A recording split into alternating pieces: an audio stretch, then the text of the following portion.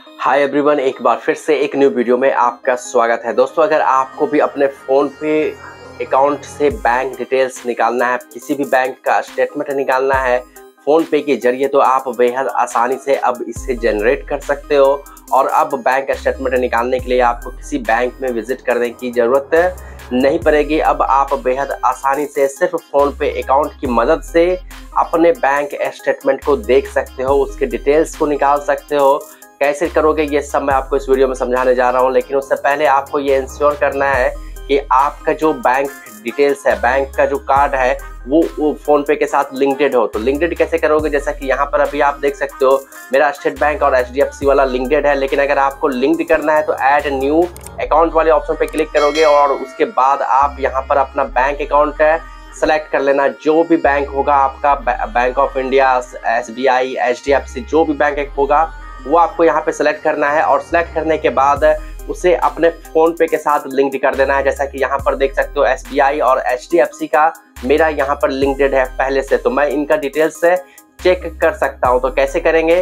कैसे करना है आपको अपना स्टेटमेंट चेक तो उसके लिए आपको यहाँ पर एक ऑप्शन मिलता है चेक बैलेंस का, ठीक है? यहाँ पर जैसे अपने फ़ोन पे अकाउंट के होम पेज पे आओगे आओगे तो चेक बैलेंस वाले ऑप्शन पर क्लिक कर देना। उसके बाद यहाँ पर आपको आपके जो बैंक डिटेल्स होंगे वो दिख जाएँगे, जैसा कि HDFC और SBI ये दोनों मेरे यहाँ पर दिख रहे हैं। लेकिन नीचे एक ऑप्शन आपको मिलेगा बैंक स्टेटमेंट का। जैसा कि यहाँ पर अभी आप देख सकते हो, मेरे में भी बैंक स्टेटमेंट का एक ऑप्शन देखने को मिल रहा है। ये फ़ोन पे का न्यू अपडेट आया हुआ है तो आपको इस पर क्लिक कर देना है। जैसे ही आप इस पर क्लिक करते हो तो कुछ इस तरीके का इंटरफेस आपके सामने मिल मिल जाएगा देखने को। यहाँ पर एक ऑप्शन मिलेगा व्यू स्टेटमेंट का। तो यहाँ पर अभी इम्प्टी दिख रहा है, क्योंकि हमने अभी यहाँ पर अपना बैंक डिटेल्स ऐड नहीं किया।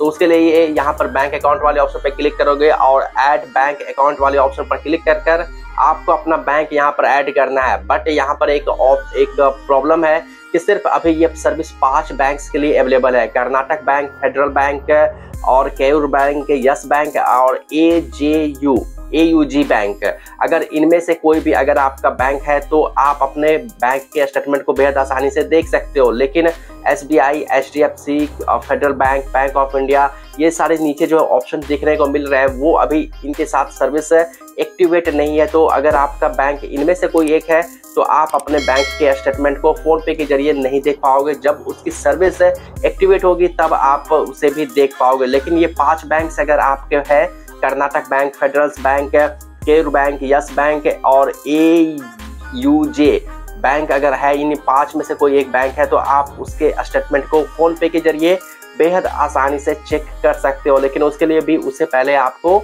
ऐड करना पड़ेगा। तो बहुत आसान है दोस्तों, जैसे हम फ़ोन पे में बैंक बैंक अकाउंट को ऐड करते हैं, वैसे ही यहाँ पर भी ऐड कर लेना है और उसके बाद अपने बैंक के स्टेटमेंट को आप चेक कर सकते हो। तो आई होप की वीडियो आपको पसंद आई होगी। वीडियो पसंद आई हो तो यार वीडियो को लाइक कर देना एंड चैनल को सब्सक्राइब करना बिल्कुल भी मत भूलना। तो चलिए मिलते हैं नेक्स्ट वीडियो में। अपना ख्याल रखना, खुश रहना और जय हिंद।